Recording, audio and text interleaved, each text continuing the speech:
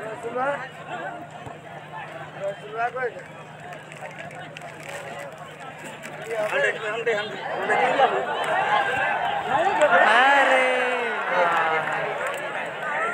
इसी के साथ यहाँ पर सेकंड गोल के लिए जो अटेम्प्ट किया था वहाँ साइलन हेमरम ने, लेकिन थोड़ा सा वो गोल पोस्ट के बगल से बाहर निकल गई। और पाकुड़ की टीम यहाँ सेकंड जो चांस था गोल दागने के लिए, लेकिन नेपाल की टीम बच गए। और इस पहले हाफ़ में लगभग ये तीसवा मिनट का खेल प्रगति करता हुआ।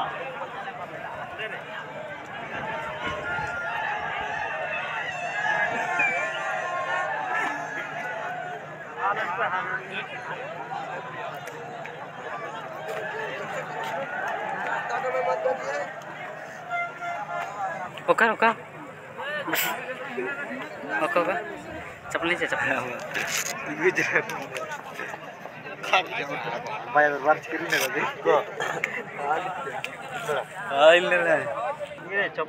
के नहीं बस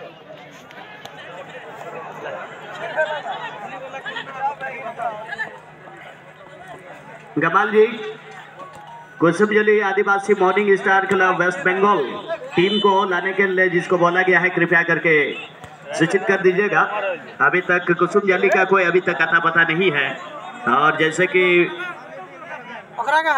हम लोगों को पता है कुसुम जाली की टीम कुसुम ज़रूर है। रिपोर्टिंग हो गया है आ रहा है। ओके।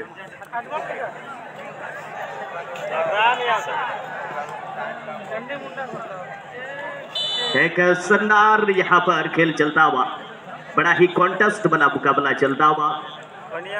और पाकुड़ की टीम हालाँकि एक ज़ीरो की बढ़त पर है लेकिन नेपाल की टीम ने अच्छा खेल दिखाया है इस पहले हाफ़ के दरमियान।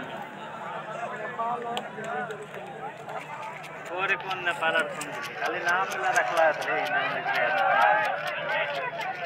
पाकुड़ की टीम जहाँ हमारे भारत देश का प्रतिनिधित्व कर रहे हैं और नेपाल हमारे पड़ोसी राज्य से आए हुए टीम। एक पड़ोसी देश से आए हुए टीम यहाँ। ब्रदर टीम पाकुड़ के खिलाफ खेलते हुए।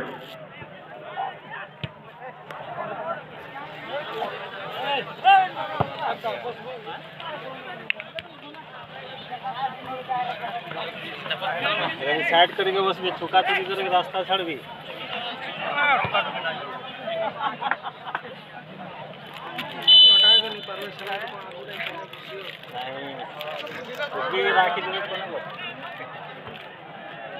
करेगा फुल बैक में जिस तरह से मिथुन सरदार, जर्सी नंबर पाँच, लंबे लंबे जुल्फ और फुल बैक से अच्छा अभी तक बॉल अपने क्षेत्र से बराबर अपने टीम के लिए अच्छा योगदान दिया है।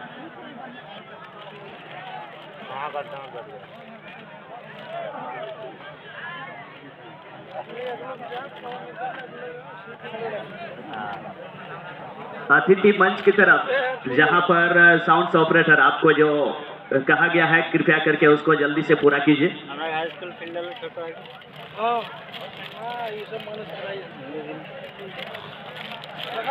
हाई